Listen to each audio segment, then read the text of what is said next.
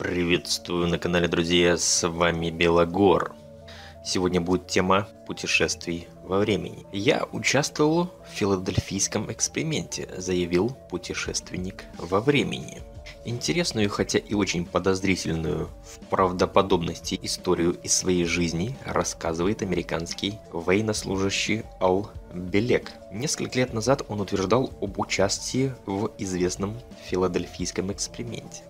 По словам военного, благодаря эксперименту он совершил путешествие во времени и побывал в разных временах. Согласно легенде филадельфийского эксперимента, состоявшегося 28 октября 1943 года, специалистами ВМС Америки был проведен занимательный опыт с эсминцем Элдрич. Планировалось провести революционный технологический рывок, достигнув эффекта телепортации с помощью мощных сил электромагнитного поля. В основу эксперимента по версии поклонников идеи входили расчеты, заложенные уравнениями Эйнштейна – в ходе эксперимента мгновенных перемещений эсминец Элдрич, а также экипаж в составе 181 человека в доли секунды телепортировались на добрый десяток километров от исходной точки. Впрочем, как поясняла впоследствии команда и представители ВМС, никакого опыта либо экспериментов с телепортацией не проводилось. Это официальное заявление о телепортации и самом эксперименте заявлялось как о нелепой выдумке газетчиков. А между тем, согласно легенде филадельфийского эксперимента, американские военные проверяли некоторые догадки и вероятность телепортации, произведенные Николой Тесла и Альбертом Эйнштейном. Сам Тесла за несколько месяцев до эксперимента скончался. Но вот научный архив был заполучен. Не оставался в стороне и Эйнштейн, уверяют теоретики филадельфийского эксперимента. Ученый, дескать, проводил проверку единой теории поля. Участник филадельфийского эксперимента. Рассказывая о своем участии в филадельфийском эксперименте, военный заявляет, что прежде чем вернуться в родное время, он прошел немалый путь по спирали времени. Причем, несмотря на стресс от ситуации, Билик запомнил некоторую информацию о будущем нашего общества. Несколько недель я прожил в 2137 году, рассказывает путешественник во времени, и пару лет в 2749. Человечество пройдет серьезные изменения и переоценку жизни в самом ближайшем будущем. Перемены охватят все сферы жизнедеятельности, начиная от медицины и заканчивая наукой. На основании удивительной истории путешественника во времени, мы делаем радостный вывод. Эпохального события, известного под вывеской «Конец света», не будет, по крайней мере до 2750 года. Правда, на судьбу цивилизации падут тяжелые испытания.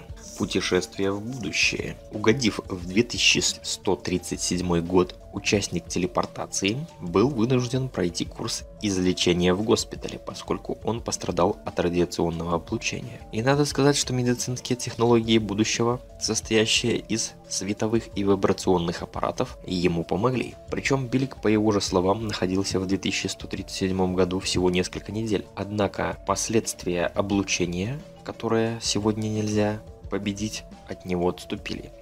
Совершенно известно, как и на появление странного военнослужащего отреагировал персонал госпиталя. А между тем, находясь в госпитале, Билик, просматривая новостные и общеобразовательные телепередачи, поглощал информацию о событиях, повлиявших на изменение жизни общества. По словам экс-военного, изменения берут начало с 2025 года. Путешественник усмотрел две причины, и обе значимые – глобальное потепление и состоявшийся контакт с представителями внеземной цивилизации. Мощное потепление поднимет уровень Мирового океана к 2137 году, крайне высоко став механизмом запуска планетарных перемен. Катастрофа изменит существующее местоположение континентов, как это уже случалось в прошлой эпохе. А также, заявляет Билик, это послужит сокращением населения человечества до 300 миллионов человек. Но человечество переживет эти катаклизмы и будет развиваться. Описывая свое участие в эксперименте и перемещении во временных реалиях, Билик отметил, Американское правительство еще с 1954 года активно вело сотрудничество с инопланетными цивилизациями. Якобы итогом этого сотрудничества стали продвинутые технологии американских инженеров. Как рассказывает о будущем путешественник во времени, американская инфраструктура претерпеет множество изменений – Билик сказал, что в будущем будет единое правительство на всей Земле. О методах или способах перемещения во времени через столетия Билик также не распространяется. Зато находясь в 2749 году, Билик заметил, что к этому времени следов глобального разрушения от катаклизмов и последствий этого не осталось. Люди живут в достатке, каждый имеет все желаемое для счастливой жизни. Мироустройство того времени представляется идеальным сообществом, поскольку в странах отпадает нужда в правительствах, а всем происходящим на Земле будет управлять совершенная компьютерная система. Также Билика поразила в будущем огромные плавучие города.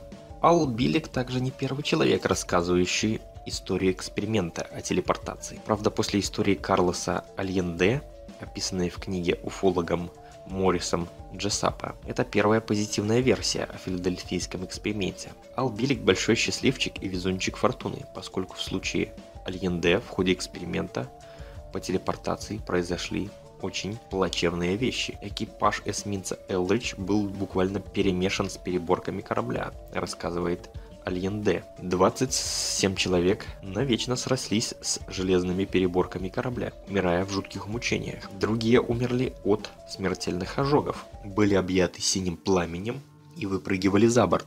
Но там не было воды, лишь сияние бледно-зеленой дымки. А в это время другие сходили с ума от ужасных видений. Живыми из участников эксперимента по телепортации вернулись 21 человек. Судьба остальных членов экипажа неизвестна. Возможно, они живы, просто навечно остались в чужом времени. И в заключении, замысловатый сюжет истории эксперимента в Филадельфии был предполагаемым военным экспериментом на Филадельфийском морском судостроительном заводе штата Пенсильвания. По версии приверженцев эксперимента, Элдридж должен был стать невидимым с помощью маскировочного устройства. История широко расценивается как мистификация. Военно-морские силы США утверждает, что этого эксперимента не производилось, и детали истории противоречат хорошо известным фактам об этом инциденте. Нахождение эсминца в Филадельфии и появление в этот же день в Норфолке. Расстояние между базами 320 километров. В опровержение заявляется возможный переход по Чесапикско-Делаверскому каналу. Он хоть и был к этому времени закрыт, но использовался в тайне от остальных. Человек из Туареда, который исчез так же загадочно, как и появился. Одно из самых загадочных событий 20 века не связано с теориями заговора или же наблюдением странных существ. Это произошло в, казалось бы, нормальный день в одном из самых утомительных и приземленных мест, которые только можно себе представить, в аэропорту. Тем не менее, по сей день никто не знает, что именно там произошло и почему один средний деловой путешественник стал сердцем загадки, в значительной степени забытой нашими современными исследователями. История называет этого человека как гражданин из Тауреда. Мужчина из Тауреда был странным человеком, который прибыл в аэропорт Ханеда в Токио, Япония, летом 1954 года. Когда они спросили у него страну происхождения, он небрежно заявил, что он из Тауреда, на границе между Францией и Испанией. Работники аэропорта сказали ему, что Тауред не существует, но он предоставил им свой паспорт, выданный несуществующей страной Тауред, который также показывал визовые штампы, подтверждающие его предыдущие деловые поездки в Японию и другие страны. Внешний вид мужчины из Тауреда. Этот мужчина был описан как опрятно одетый белый мужчина средних лет. Его основным языком был французский, но он говорил по-японски и еще на нескольких языках. И очевидно, он был умным и образованным, вежливым человеком. Расположение Таурена. Затем мужчина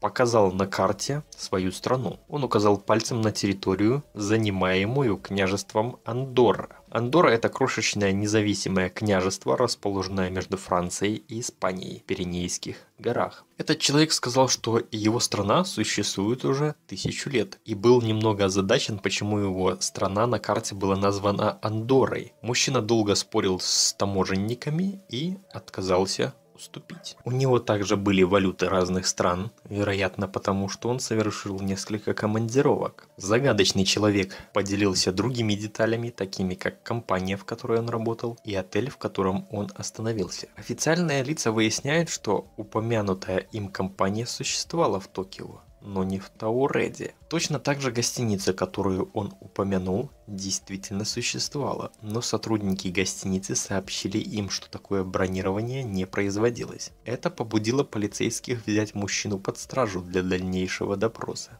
Офицеры подозревали, что он может быть преступником и конфисковали его документы и личные вещи. Офицеры поместили загадочного человека в ближайший отель, пока проводилось расследование. Чтобы загадочный мужчина не сбежал, у двери поставили двух охранников. Следует отметить, что в номере отеля, в котором он останавливался, была только одна точка входа и выхода. Но ко всеобщему удивлению, на следующее утро этот человек исчез. И что еще хуже, все его личные документы, включая паспорт и водительские права, выданные загадочной страной, исчезли из комнаты безопасности аэропорта. Поиски этого человека были начаты, но тщетно.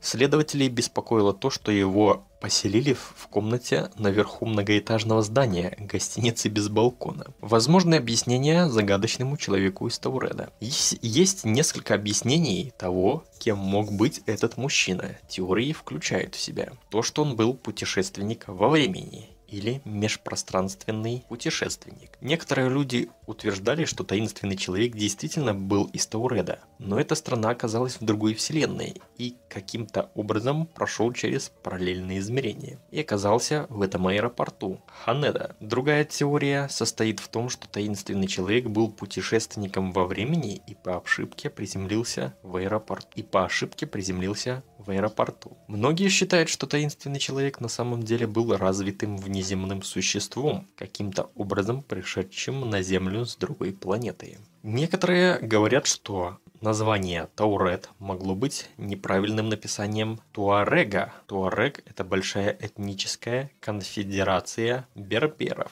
В основном они населяют Сахару на обширной территории, простирающейся от далекого юго-запада Ливии до южного Алжира, Нигера, Мали и Буркина-Фасо. Есть также теория, что это был розыгрыш. Помимо всего этого, люди, которые утверждают, что это всего лишь тщательно продуманный интернет-розыгрыш, потому что по делу нет убедительной документации, и никто не знает, на каком, на каком самолете он прилетел и, и в каком отеле остановился. Правда о человеке из Тауреда. Конечно, таможенники написали бы отчет или записку, поскольку они расследовали это странное дело, но похоже, что нет никаких доказательств этого из первых рук, которые могли бы подтвердить эту историю.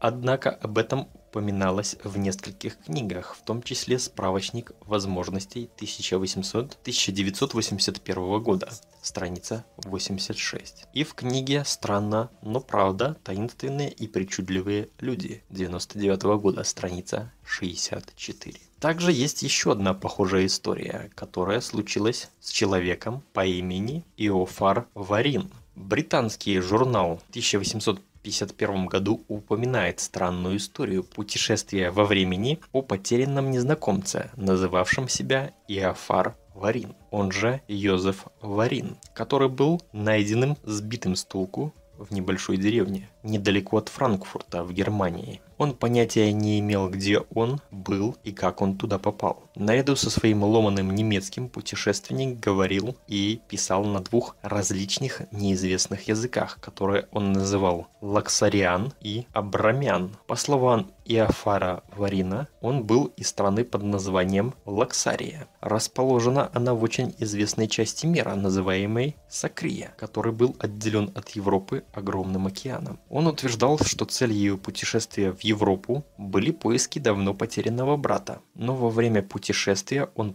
потерпел кораблекрушение именно там, где он не знал, и не мог представить свой маршрут на берегу любой карты мира. Иофар далее сказал, что его религия была крестьян. Он продемонстрировал значительную долю географических знаний, которые он унаследовал от своей расы, он назвал пять великих участков Земли – Сакрия, Афлар, Астар, Ауслар и Эвплар. Джон Тимпс писал о Варине в своей книге 1852 года «Ежегодник фактов в науке и искусстве», который получил высокую оценку за точность в других публикациях того времени. Был ли этот человек простым самозванцем, который обманул жителей деревни во имя Иофара Варина, или он действительно был заблудшим путешественником во времени, который прибыл из какого-то странного места, до сих пор остается большой загадкой. Возможно, время действительно покажет, какая загадка скрывается за увлекательной историей Иофара Варина. И надеюсь, что однажды мы узнаем ответ на вопрос, что на самом деле случилось с потерянным незнакомцем Иофаром Варином. Подведем итоги. Я думаю, что некоторые из людей могли попасть в наш отдел Земли из-за края Земли в результате какой-нибудь катастрофы или в результате какого-нибудь кораблекрушения, потому что моя теория такова, что за краем Земли находятся другие отделы земель, похожие на наши. То есть такие своеобразные колонии, как наша из пяти континентов. А, скорее всего, там за краем Земли находятся и другие такие колонии, как это описывается в Ведах. То есть их примерно 9 штук. Вот. И на одной из этих колоний, возможно, там а, люди каким-то непонятным образом, будь то на, в результате кораблекрушения, будь то, возможно, из, из, с использованием каким-нибудь, каких-нибудь технологий, которые у них имеются, попадали в наши отделы Земли. Ну, конечно, существует вероятность того, что у них другой язык совершенно, чем у нас, а наш язык у них, скажем так, не в ходу, хотя это очень интересный вопрос, но тем не менее существует такая вероятность, то что кто-то может попасть из одной области Земли в нашу область Земли. Также в Ведах есть описание того, что люди могли в принципе путешествовать из одного участка земли в другой. То есть э, еще говорится в Ведах, что есть э, варши, то есть такие огромные участки земли, которые отделены мощными горами. И люди могли путешествовать из одной варши в другую. Так, скорее всего, случилось и здесь. С вами был Белогор. Всем спасибо за внимание. Подписывайтесь на канал, если вам нравится мой контент. Ставьте лайки. Всем спасибо и пока.